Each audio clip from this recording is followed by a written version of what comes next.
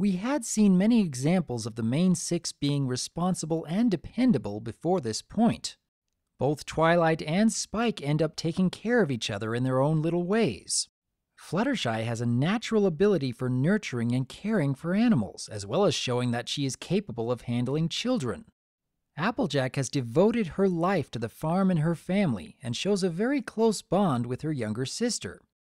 Even Rarity has had moments of putting aside her own needs for the sake of her sister. But in the case of both Pinkie Pie and Rainbow Dash, we have yet to see them being responsible for the needs of others.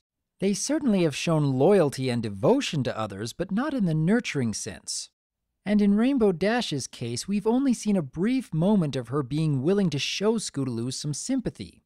She has yet to be truly tested in that sense, since she hasn't really needed to sacrifice anything for Scootaloo's sake just yet, but I am hopeful to see more of that in the future.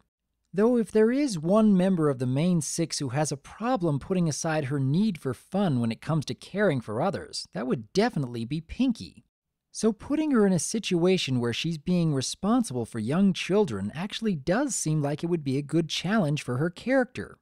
But how well does the actual story hold up? Let's take a look. As the episode begins, we see the Mane Six at the hospital waiting for the cakes to present their new foals.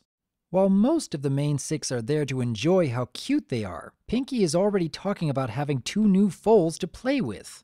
Right off the bat, Pinkie seems to be thinking about how much fun she's going to have over anything else. Applejack starts wondering about how a unicorn and a Pegasus could be the offspring of two Earth ponies, to which Carrot Cake explains that he actually does have both a unicorn and a Pegasus in his family tree.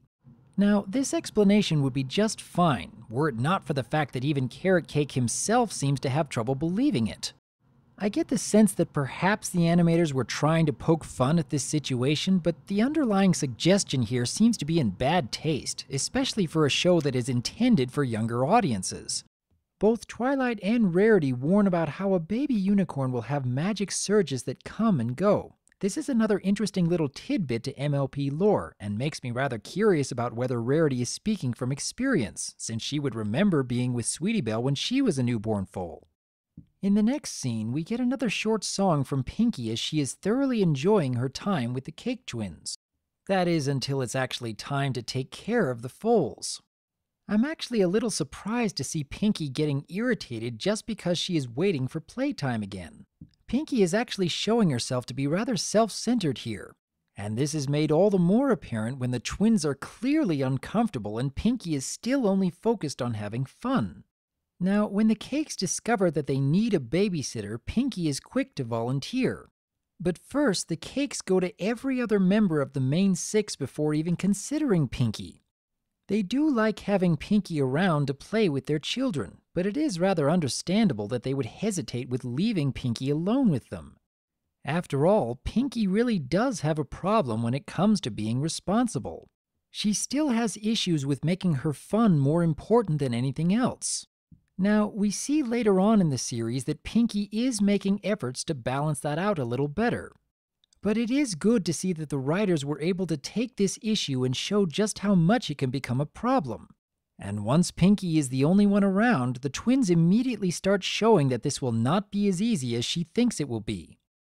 We get another short song from Pinkie as well as some great reactions from the twins. But a lot of these next scenes just go to show how difficult it is for Pinkie to be responsible. She's keeping herself positive and upbeat, but the more she's going on with things, the more she begins to understand that she greatly underestimated how hard this will be for her. When Twilight arrives, Pinkie is relieved to finally get some assistance. That is until Twilight says that she figured Pinkie could use some help, now, we may think that Twilight didn't intend to imply anything negative here, but I have to admit even I would question whether Pinkie really could do something like this. It is perfectly understandable that the Cakes and now even Twilight have had their doubts about Pinkie's ability to be responsible. And this just makes Pinkie all the more determined to prove everyone else wrong. Now, a lot of this episode feels rather similar to other stories that we've seen before, it is rather commonplace to put a character in charge of a baby and seeing them getting overwhelmed by the experience. But there are a couple of things here that make it seem different. First off, the cake twins are actually a little more interesting than most other babies we see in media. While it may not be much, each of them are given just a bit of a distinct personality that helps them to stand out. And the fact that they put in a parody of horror stories right in the middle of this episode actually shows some great creativity. I've also heard more than a few people talk about how it doesn't make any sense that pound cake can fly so easily and pumpkin cake is using a variety of magic all of a sudden. But we did hear Twilight and Rarity talking about this early on in the episode, so the writers didn't try to pull this out of thin air. And I would think that their explanation could apply to Pegasi as well, if their ability to fly is due to an inherent, even unstable magic that comes and goes at around this age. I've explained this in greater detail in the headcanons video that was made with Buck and past analysis, and I'll post a link in the description if you'd like to check that out. But while there are plenty of funny bits to this episode, and quite a few adorable moments as well, I can understand why some people would say that the story isn't all that interesting. While the writers have put in a few enjoyable twists to this story that we've all seen before, that doesn't change the fact that it is a story that we've all seen before. So, yeah, it makes sense that some people wouldn't think too highly of this episode. But I, for one, really like many of the aspects that were presented here, Aside from a good parody of horror films and the overall adorableness that comes with taking care of children, I think that Pinkie was just the right kind of character for this story. It's nice to see that they establish Pinkie's desires for having fun taking precedence over the needs of others in previous episodes. This was made especially apparent in Luna Eclipsed, when Pinkie was encouraging everyone else to be scared and not even realizing that she was really hurting Luna's feelings in the process. So when we get to an episode like Baby Cakes and Pinkie starts to realize that the Cakes and even Twilight actually had a good reason to doubt in her ability to be responsible, it actually does feel like Pinkie is growing a little bit as a character. And even besides that, I think there is more of a lesson here than meets the eye. Pinkie talks about how it can be easy to be overconfident when it comes to responsibility, but there is actually more to learn from Pinkie's actions here.